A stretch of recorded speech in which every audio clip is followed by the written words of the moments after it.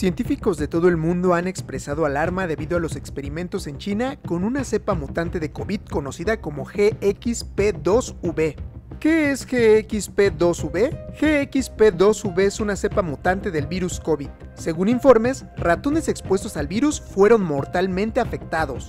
El doctor Mauricio Rodríguez Álvarez, vocero de la Comisión Universitaria para la Atención de la Emergencia del Coronavirus de la UNAM, explica que las cepas son aislamientos con características biológicas, serológicas y moleculares. En experimentos realizados se infectaron ratones con GXP2V y todos murieron en un lapso de 7 a 8 días lo que resultó en una tasa de mortalidad del 100%. Esto ha generado inquietudes sobre su potencial impacto en los humanos y su propagación.